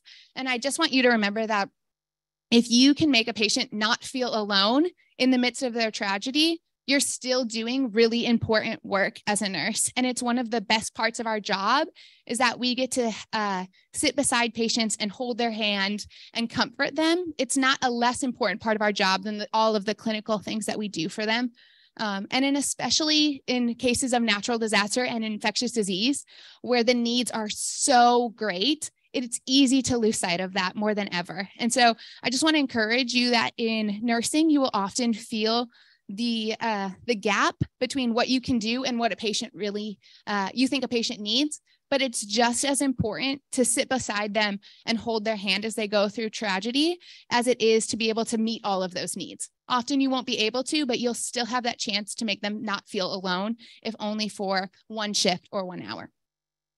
So thank you for joining um, this global nursing community. There's such a great need and we're so excited to have you be part of it. Thank you so much. Thank you for both presentations. It's Very great to hear from uh, all of your experience. Uh, before I open the term for discussions, perhaps I will uh, deliver in Bahasa first to make the audience understand about what's your uh, presentation. Okay, pertama uh, um, Dr. Selby itu membawakan tentang pekerjaannya yang uh, di mana uh, melakukan penelitian secara global itu untuk uh, ke nursing students khususnya, di mana penelitiannya uh, mengarah kepada manajemen disaster dan disaster preparedness. Dan uh, fokus uh, pekerjaan beliau saat ini adalah di India dan uh, mulai tahun ini uh, mulai uh, uh, proyeknya di Indonesia dan um, semua yang dikerjakannya itu uh, di mengikuti pedoman yang di, di, di, dilakukan oleh WHO. Kemudian uh, satu proyeknya adalah uh, mengembangkan Nursing Excellence Center di India untuk uh, bagaimana mempersiapkan perawat-perawat di sana untuk menghadapi uh, bencana yang ada di tempatnya masing-masing karena memang uh, tidak semua tempat mempunyai uh, uh, natural disaster yang sama. Sementara uh, dari Tarin itu membawakan tentang uh, natural disaster dan uh, persiapannya juga penyakit-penyakit yang sering terjadi yang uh, dihadapi pada saat uh, pasca disaster. Dia menyampaikan uh, tentang uh, penyakit kolera bahwa, bahwa terakhir adalah Malawi yang tertinggi, kemudian uh, pneumonia dan juga malaria yang disampaikan di Indonesia itu terutama di Papua dan NTT. Kemudian yang populer di kita juga ada dengue. Dan uh, yang paling banyak ditemukan kalau itu uh, disasternya melibatkan banyak uh, bangunan yang roboh itu adalah tetanus karena adanya luka terbuka setelah disaster.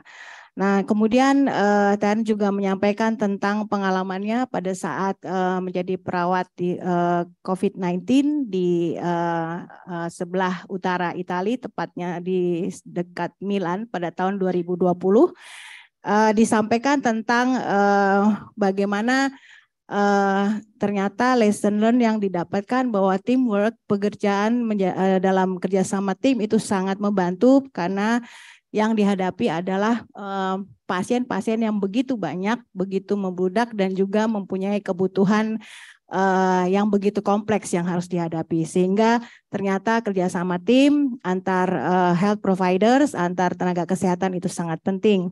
Kemudian adanya pemakaian klorin. Ya kalau di kita mungkin clean ya. Klorin itu sebagai protokol untuk uh, uh, untuk uh, hygiene uh, sanitasi ya dan um, terakhir disampaikan uh, case of Italy. Jadi uh, dia mendapatkan pasien suami istri. Kalau di Italia itu pasiennya dipisahkan wardnya pasien uh, pria dengan wanita. Kemudian uh, sudah sangat tua dan pasangan ini sudah menikah selama 60 tahun dan uh, suaminya kemudian meninggal dan istrinya tidak tahu bahwa suaminya sudah meninggal.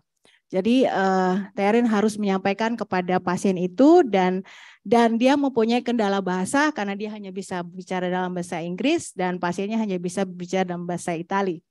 Dan uh, apa yang uh, didapatkan bahwa ternyata menjadi pendengar yang baik dengan duduk di sampingnya dan tidak membiarkan pasiennya itu kesepian itu ternyata menjadi satu obat tersendiri uh, di samping dari pengobatan yang diberikan.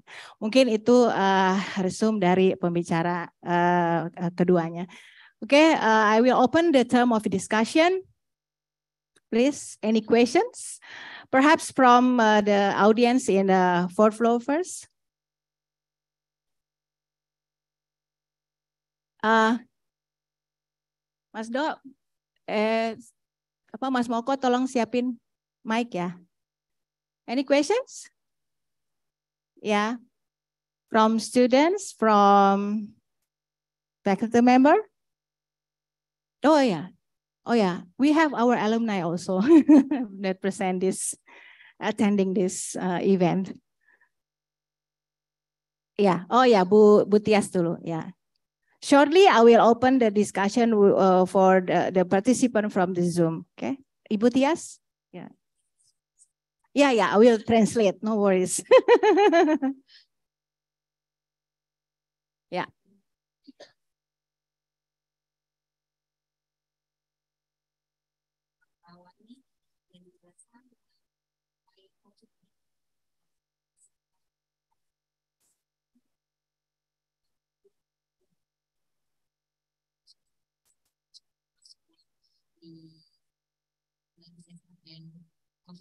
Yeah, yeah, yeah.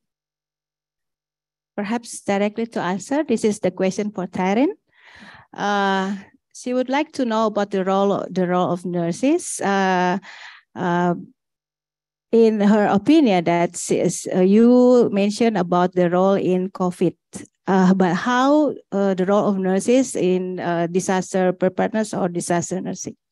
Yeah, uh, great question. So the um, the role of nurses in natural disasters is big, um, and I think Shelby's presentation touches on that too. Of uh, how nurses are involved in the preparation state. So, uh, nurses are involved in making sure communities are ready for natural disasters if they occur. Um, there's a whole team of them working around the year to make sure that uh, that nurses and healthcare communities are ready for disasters if they occur. And then when they hit, they can take on any of those six roles that were listed. And so sometimes they're doing, uh, they're taking care of the patient. Sometimes they're taking care of the staff um, through infection prevention and uh, management things. Sometimes they're changing the national guidelines on how to take care of patients through reporting outcomes. Um, sometimes they're teaching other nurses how to take care of patients. And then other times they're out in the community educating people. Um, and then they're also often um, helping in the community uh, analyze what needs there are. And so there are a lot of uh, changing needs in the middle of a natural disaster. Uh, especially if it's um, like a earthquake that has usually ruined homes. Um, that really helps figure out where there's clean water sources where there's a need um, for different sanitation services um, and they help direct people to where to get those services at. And so nurses uh, in most disasters and infectious disease responses, nurses are one of the most needed professions um, across the board, um, no matter where you're at. Usually, there's the highest number of nurses, um, even more than uh, than doctors or um, really any other profession, um, just because they can be used in so many different ways. Um, but like I said, it's really important to have a big team of lots of different people um, and to rely on one another to take on those different roles. Ya, jadi Bu Tias itu perannya lebih uh, banyak di pada saat disaster preparedness. Ya, jadi uh, tidak hanya uh, terjun langsung merawat pasiennya, tapi juga terjun ke community untuk me menyiapkan mereka terhadap uh, kemungkinan bencana yang akan terjadi. Kemudian uh, juga uh, ter, terlibat dalam uh, merubah uh, guidelines khususnya untuk uh, bencana yang disesuaikan dengan uh, uh, bencana yang terjadi pada saat itu. Kemudian juga um, mengajarkan uh, sesama perawat untuk uh, kesiapan terhadap uh, disaster ini, juga mengajarkan kepada masyarakat uh, tentang uh, bagaimana uh, menyikapi terjadinya bencana. Juga melakukan analisa kebutuhan masyarakat banyak sekali peran yang bisa dilakukan dan dan itu eh, memegang peran penting juga pada saat terjadinya bencana. Tapi tidak terlepas tetap kerjasama tim eh, merupakan satu hal yang sangat penting. Mungkin itu ya. Cukup jelas? Oke, okay, very clear. okay, any more question? Okay, I open I invite the question from the chat room. From the Zoom? Any question? Okay, before from Zoom, please uh, mention your name and then raise your question. Uh, please, Mike. Mike. Yeah. Okay, you may raise. You may stand up so everyone will see. Thank you.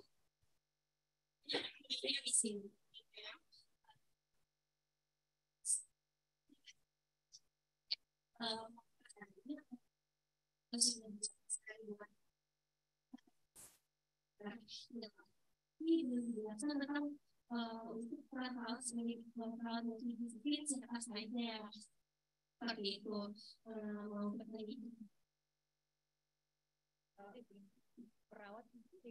Ya, timnya siapa saja untuk mengikuti disiplin. Inti. I think this question can be for you both. Uh, she asks about the who actually that uh, play the, the important role uh, uh, uh, except nurses. I mean, who belong to the the, the teamwork with with uh, health providers that uh, especially to to face the disaster. Um, I think the entire health team that you work with um, on a daily basis in both hospital and community setting play a very vital role. So, from nurses, physicians, all of your respiratory therapy, physiotherapy, um, uh, lab, all of those uh, different key players, in addition to public health professionals. I'm not sure how it works in Indonesia, but in the US, there is a public health specialty, public health degree. And that degree really focuses on infrastructure in a disaster. And in our workshop with the United Nations and World Health Organization, there were many people with public health degrees that had very valuable insight as to how to roll things out logistically, almost like a civil engineer, you know, for healthcare. Uh, because they're able to see the bigger, bigger picture and know they know their counties or their regions very, very well. Um, that's an important thing for them to know. In some parts of the United States, uh, nurses are the public health care director, but most parts it's held by someone with a public health degree. So um, I'll let Taryn answer from her perspective too. Yeah, I um I agree. It's a really big team that responds to any natural disaster. Um, and one of the other areas uh, that you touched on is engineers.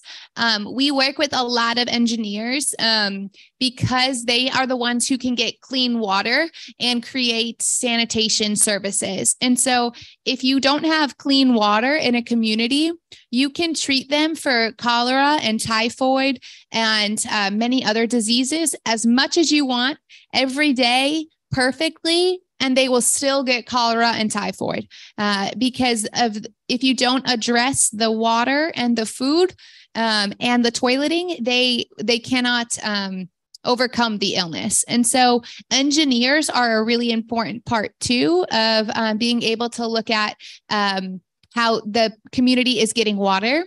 And then nurses typically are the ones who educate the community then on where the clean water is and isn't. And so um, we work really closely with engineers as well to make sure that they have good water and they know where the good water is. I worked on a project once in West Africa, and a great um, organization had dug a new water well for clean drinking water but the community was still drinking from the uh, from the river and that was simply because they didn't know that the river uh, wasn't clean and the new well was. And so for many years, they continued to have typhoid. And it wasn't because the well was bad or the water was bad, it was simply because they didn't know. And so it's important to work together with uh, your whole team because um, nurses typically are the ones who will educate in the community after things like that have occurred. And so they can help um, uh, tell the community the information, the health information that they need to um, to stay healthy as well after treatment. Okay, thank you. Uh, Indri, jadi uh, semua yang memang bekerja baik itu di uh, lahan uh, rumah sakit ataupun uh, uh, komunitas itu uh, bisa bekerja sama. Jadi perawat, dokter, fisioterapi, laboratori medis ya. Uh, tapi tidak juga terlepas peran penting dari uh, uh, kesehatan masyarakat ya petugas kesehatan masyarakat. Jadi ini lebih karena mereka kalau di US ya itu difokuskan pada pembangunan infrastrukturnya. Kemudian eh, ditambahkan juga oleh Terin itu eh, sanitasi lingkungan ya karena itu eh, seperti teknik sipil pada eh, eh, pelayanan kesehatan karena untuk eh, memastikan adanya air yang eh, bersih kemudian juga toileting.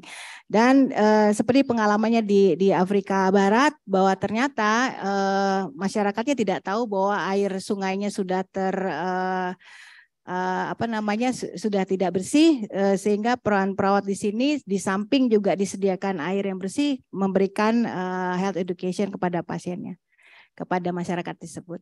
Cukup jelas? Oke, very clear. Thank you. Terima kasih.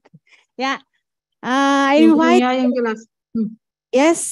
So- Yeah, please uh, mention your name and then from where and then raise your question.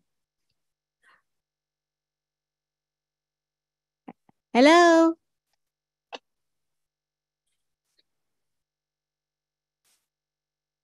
Hello.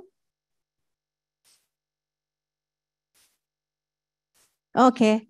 So why waiting from the Zoom meeting, okay, yours at the back, yeah.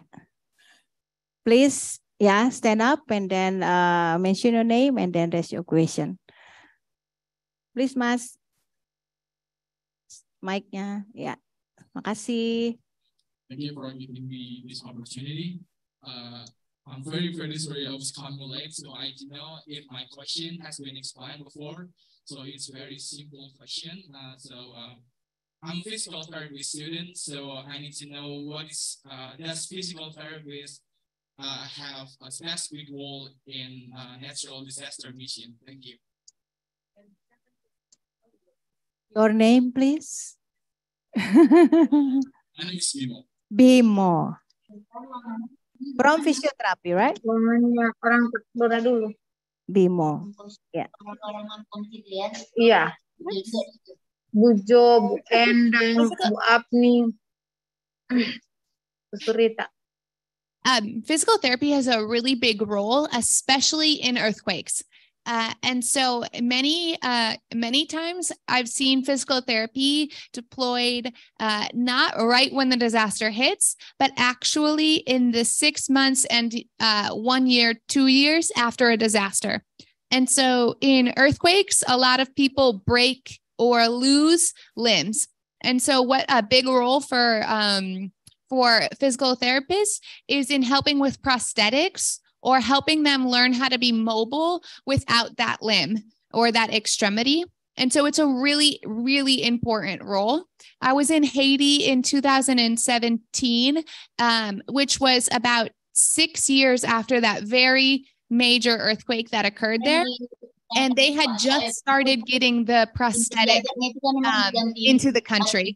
And so there was a large need for people to teach them about the prosthetic. Um, and that's really a role uh, that physical therapists are much uh, more educated in than nursing. And so it's really important. Sometimes it occurs a little bit after the disaster, um, but it's just as important as all of the uh, needs that occur immediately after. Yeah. Bimo, how? It's very clear. I would say if I don't know when you're graduating, but this earthquake that just occurred in Turkey um, and in Syria will see a physical therapy need um, that is very great in the next six months and one year. Um, so that's where it looks a little bit different than nursing, but it's just as important. Yeah. thank you. Udah mau lulus belum sih? Oh, the last grade. So, final year. Sampai dengan tahun eh, satu tahun ke depan itu Turki masih membutuhkan fisioterapi. Ayo fisioterapi pergi ke sana ya. Tepuk tangan buat fisioterapi. Congratulations. ya. eh, oh ya, di chat. Ya, ya. Um, I couldn't see. Let me see. Um, Miss Nesi, please read for me.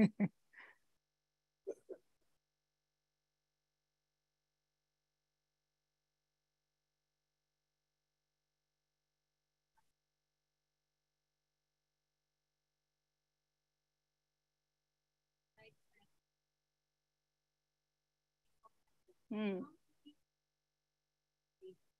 From who? Miss Triani. Uh, one by one, I think. From Miss Triani. So you got the questions? Okay, go. Um, we discussed this in our UN meeting because we had some um, uh, people from Turkey there, a physician and a nurse from Turkey who uh, just experienced this terrible earthquake. And um, one question we had worrying coming from the US, there was a lot of aid. And we worried because sometimes people can get in the way when they don't know the culture and it can make things worse. And they um, were very supportive of health professionals from around the world coming, but they did acknowledge how important it is for people to have training. And that also includes cultural training. Um, but we did, you know, many times use interpreters. Uh, they talked about many of the um, uh, local students from university coming and interpreting, which was very helpful. But I do think uh, what the um, the person that asked the question said about cultural um, knowledge is very important that we understand and recognize. Uh, sometimes it's just as important as the physical need, uh, meeting that cultural need. Uh, Taryn probably has some more direct experience, so I'll let her answer. I would just piggyback off of that, and especially what she mentioned about translation. Um, depending on the translators, um, it will really affect the care you're able to deliver in these situations. And so, um, many times, uh, people think of the translators as just helping but they actually are one of the most important people that you have on your team. Um, they're not less important than those who are delivering the medical care.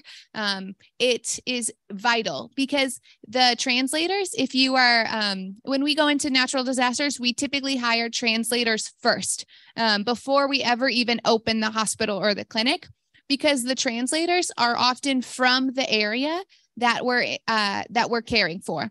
And so the translators will teach us a lot about the culture, and they become a little bit of a barrier between us and them um, because they're able to say, oh, they said this, but what they mean is this. Um, and they'll protect us from saying something that might be seen as offensive.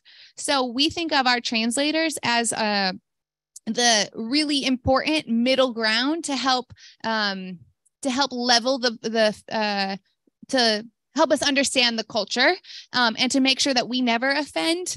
And they also um, help us because we can be offendable too um, from thinking that a patient is uh, being uh, is saying something offensive because they will translate it for us and also allow us to know the meaning behind it.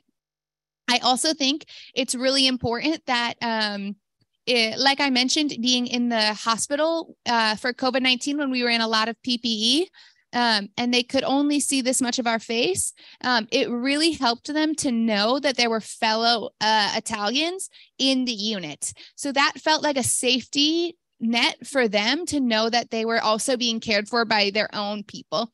And so I would say, whenever possible, to use local staff as much as possible um, is most important of all. And it becomes a really great opportunity to um, share knowledge and skills and to learn from one another because we all have something great to offer. Um, and we're at our best when we're working together. Thank you. I think Ms. Triani already understood about the answer, right? Okay, I will limit for one more question. Ibu Desi, please read. One more questions from the chat room. Did you work with local residents council? Yes. I feel like the last question kind of covered that, so I won't go down that again.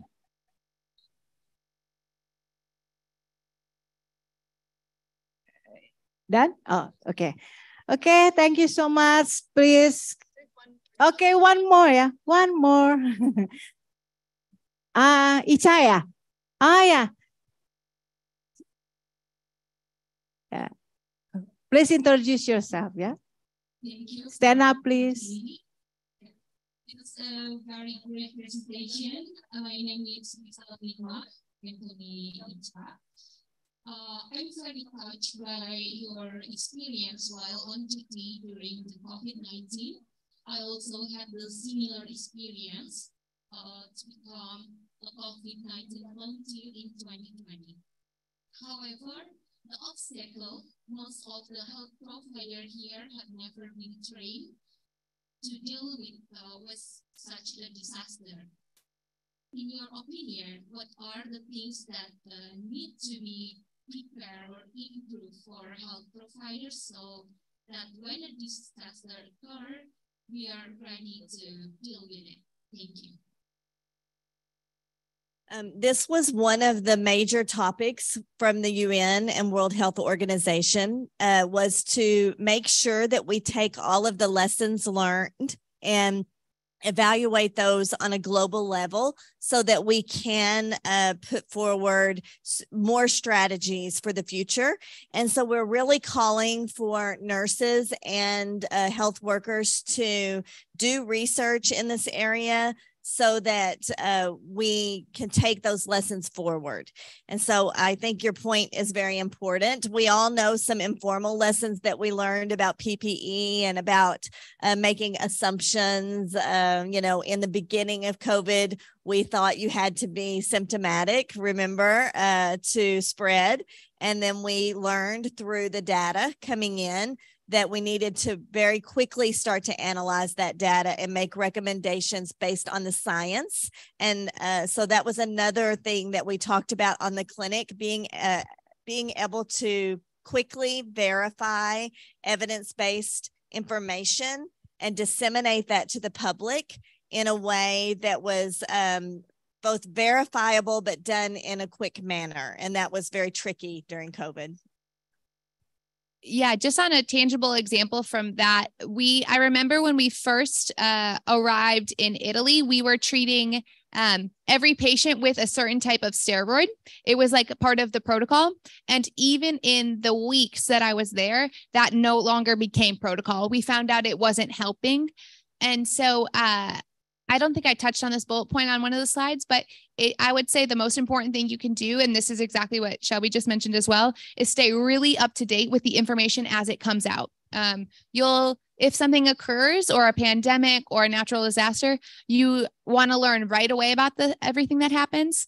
But then sometimes we get really busy treating it and we forget to come back to the information. And so I think it's really important to stay up to date um, with the specific disease and the specific region, because often how you treat a disease will also vary based off of where you're located at um, and what's available right there.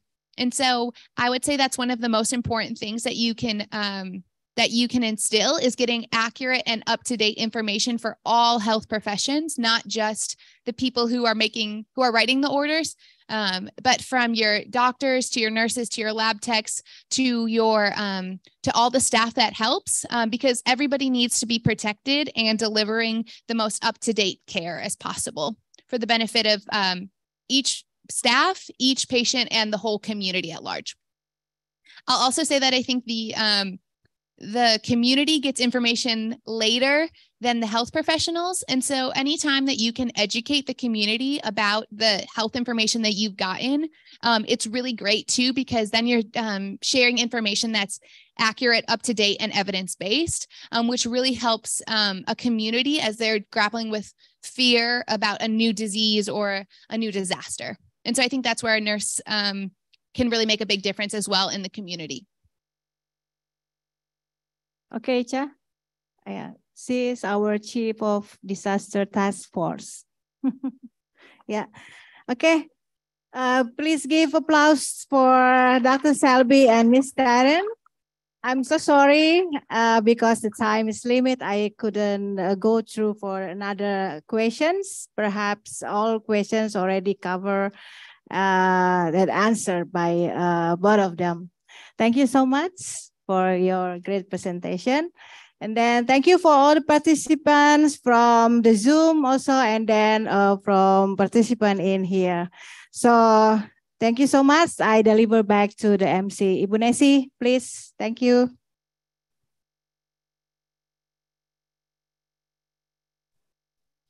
Thank you. Give a big applause for Mr. Jordan, Mr.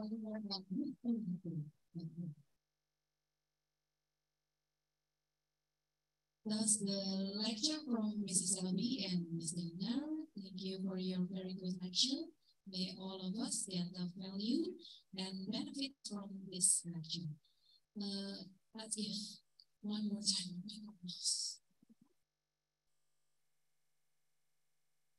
And I will invite Miss Yubi to give a souvenir or something to remember about, about uh, Polytechnic of Jakarta tree.